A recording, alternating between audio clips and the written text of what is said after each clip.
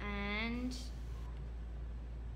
what do you want to drink? So there's three rows, Coke, Pepsi, so pops, juices, and then more flavors like vanilla, strawberry, and something like that. Did you want a pop? No? Juice?